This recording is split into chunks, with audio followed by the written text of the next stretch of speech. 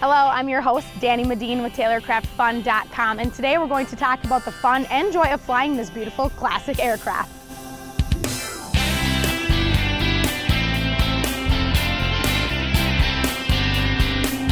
This is a BC-12D aircraft that was built in Alliance, Ohio.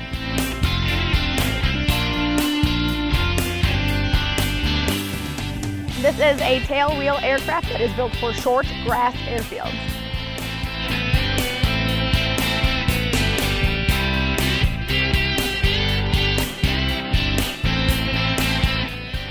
Made from 4130 aircraft tubing and fabric. It's built like a race car roll cage.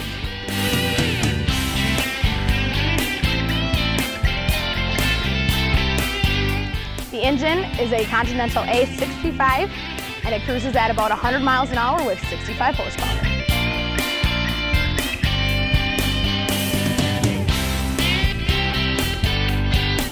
This Taylorcraft plane is easy to work on and there are still many parts available. Plenty of room to store my bags.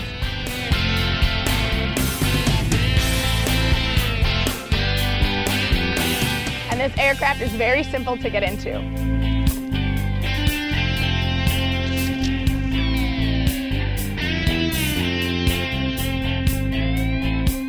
A very simple panel makes flying this timeless aircraft easy.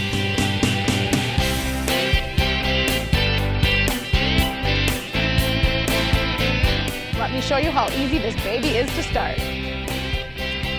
Contact!